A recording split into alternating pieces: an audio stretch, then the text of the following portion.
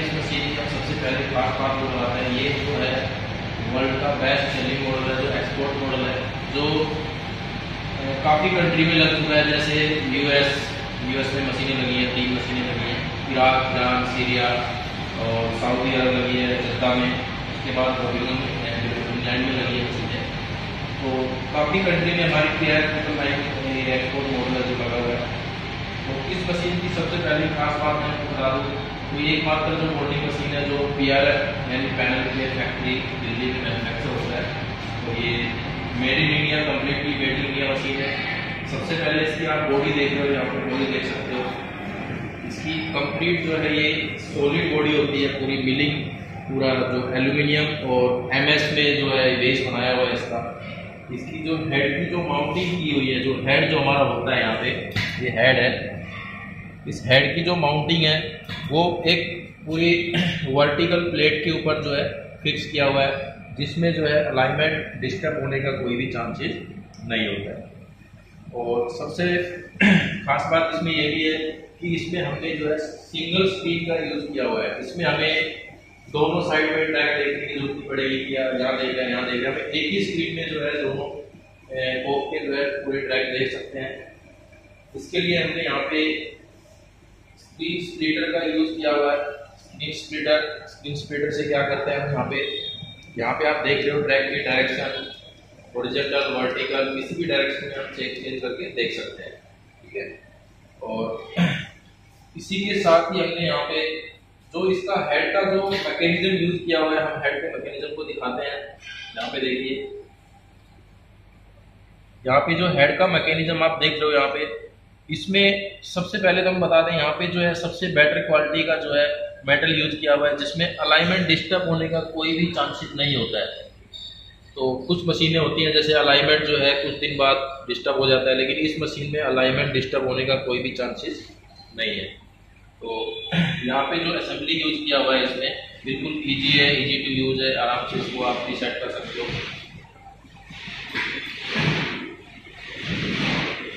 इसके अलावा हमने यहाँ पे फ्रंट कैमरा यूज़ किया हुआ है फ्रंट कैमरा यहाँ पे फ्रंट कैमरा है तो आपने देखा होगा किसी भी मशीन में फ्रंट कैमरा यूज़ नहीं होता है, लेकिन हमने यहाँ पे ये सी है, जिसमें हम फ्रंट कैमरे यूज़ कर सकते हैं।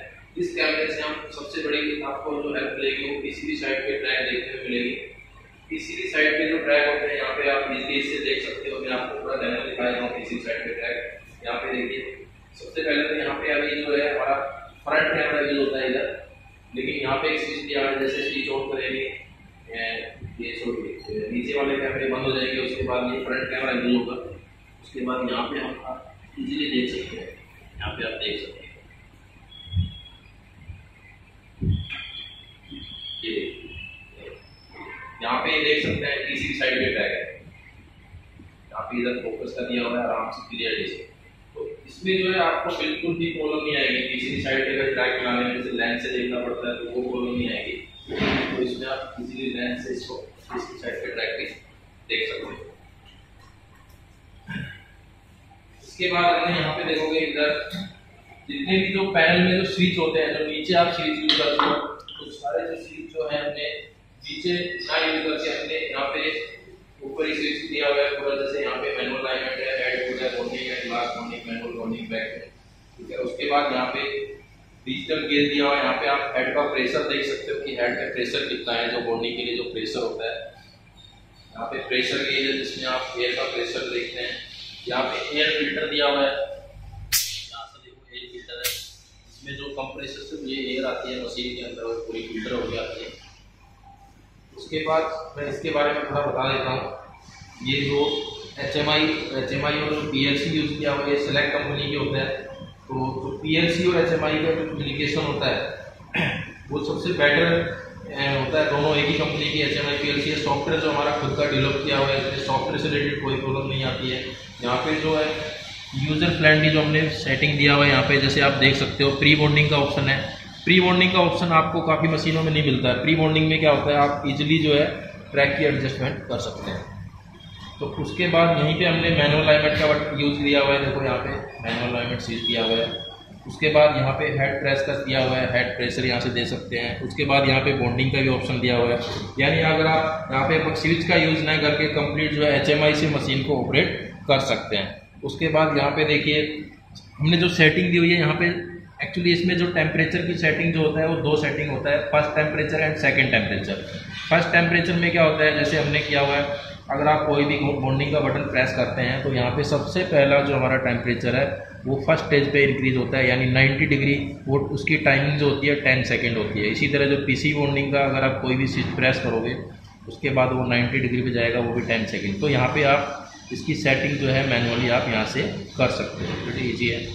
उसके बाद जैसे ही दस सेकेंड कंप्लीट होता है, वो सेकेंड टारगेट लेता है। उसके बाद यहाँ पर देखोगे आप ये सेकंड टेम्परेचर दिया हुआ है, जैसे ग्लास बॉन्डिंग पीसी बॉन्डिंग यहाँ पे आप टेम्परेचर सेट कर सकते हो। उसके बाद यहाँ पे हमने मशीन की सेटिंग दी हुई है।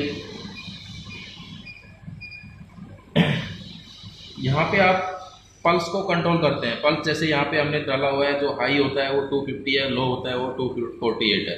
तो आप टेम्परेचर को जो पल्स से पूरा कंट्रोल कर सकते हो, ये हर मशीन में आपको ये फैसिलिटी नहीं मिलेगी। उसके बाद यहाँ पे देखिए ये टावर लाइन दिया हुआ है, यहाँ पे कोई भी अगर स्विच कर सकते हैं तो यहाँ पे जो है टावर लाइन जो है इंडिकेट करता है। किसी भी डिसाइनिंग के लिए मान लो कोई भी आपने स्विच जो है गलती से प्रेस किया, उसके बाद आप इमरजेंसी स्विच दबा सकते हो। यहाँ पे इमरजेंसी बंद हो जाएगा मशीन उसके बाद यहाँ पे सबसे जो इसका जो यूनिक फीचर है, जो आपको आज तक किसी मशीन में भी देखने को नहीं मिलेगा, सबसे आप यहाँ पे देख सकते हो, हमने एयर प्यूरिफायर दिया हुआ है। यहाँ पे एयर प्यूरिफायर दिया हुआ है। यहाँ पे जो आपके डस्ट पार्टिकल जो होते हैं, वो एयर प्यूरिफायर से जो है वो अपने डस्ट पार्टिकल को पूरा खींच लेता है यहाँ पे, जिससे आपकी बॉन्डिंग में बॉन्डिंग फैल होने के चांसेस जो है, खत्म हो जाते हैं। उसके बाद मैं आपको कुछ और मशीनें दिखा देता हूँ। जैसे ये मशीन है आर नाइन सिक्सटी, जो मोस्ट सेलिंग मॉडल सबसे ज़्यादा हमारे ये मॉडल है।